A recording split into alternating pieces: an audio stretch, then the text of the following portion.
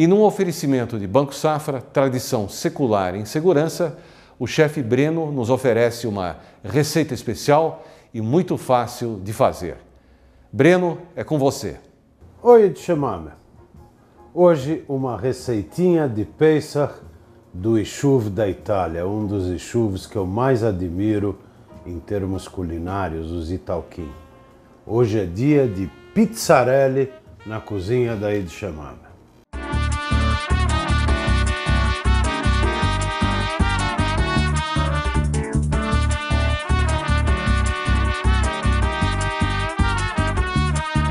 Para pizzarelli você vai precisar de duas matzota amolecidas em água, dois ovos, uma colher de sopa de raspa de casca de limão, uma colher de sopa de nozes trituradas. Aqui uh, eu estou usando linhaça dourada em vez de nozes.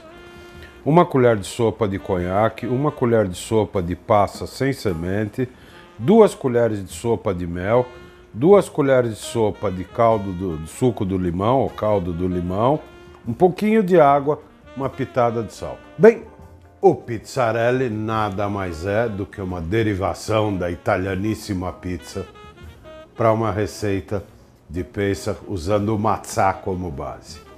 Eu deixei as matzot na água, elas amoleceram. Eu vou pegar e vou espremer o que der. Vou tirar o máximo de água que eu conseguir. Agora, passas, conhaque, raspa de limão,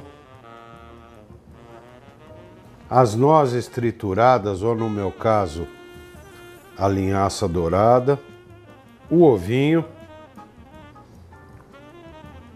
uma pitadinha de sal que vai ligar os sabores aqui. E aí, de chamar-me, é mexer, mexer, mexer, mexer e mexer. Aí, essa é a consistência que você tem que chegar. Aí. Se ela não der com as matzotas que você tinha, você pode pôr um pouco de matzo meio para corrigir e chegar nesse ponto aqui. Muito bem. E numa panelinha que eu tenho aqui com um pouquinho de água fervente, eu vou derrubar mel e suco de limão.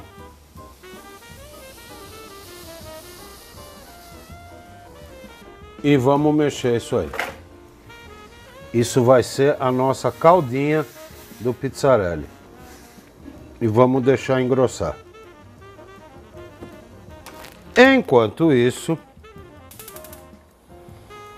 numa frigideirinha com um pouquinho de azeite. Eu vou aquecê-la e vou fazer pizzinhas com a minha massa de matzá. Vou pegar um pouquinho, transforma numa pizzinha e frigideira. Vamos deixar fritar bem fritinho. A nossa calda está engrossando. E aqui estão os nossos pizzarellis que eu deixei para perderem um pouquinho da gordura no papel. Vamos colocar numa bonita bandeja. Essa é uma, uma bandeja de matzot de Pesach. Você vai cobrir com a calda. Tá aqui então, Edichamame, uma boa receita para o teu Pesach, para o teu Seder ou para algum dia de Pesach.